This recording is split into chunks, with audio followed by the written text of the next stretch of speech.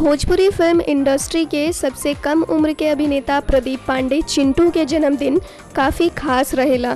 काहे कि 9 दिसंबर के वो अपन जन्मदिन अपन पूरा परिवार के साथ मनावेले।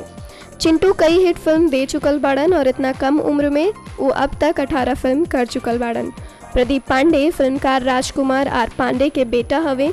वो Thakur college of science and commerce Mumbai से अपन पढ़ाई पूरा कैले अपन भोजपुरी फिल्मी करियर के शुरुआत फ़िल्म दीवाना से कैलन ई फ़िल्म हिट रहल एक बाद उ कई फ़िल्म में नज़र अलन चिंटू के मुख्य फ़िल्मों में दीवाना, सात सहेलियाँ, देवरा बड़ा सतावेला, ट्रक ड्राइवर सौगंध गंगा मैया के, जीना तेरी गली में नगीना, देवरा भैल दीवाना, छोरा गंगा किनारे वाला दुलारा और दुल्हन चाही पाकिस्तान जैसन फ़िल्म सुपरहिट साबित भल नेक्स्ट नाइन न्यूज़ रूम से ममता की रिपोर्ट।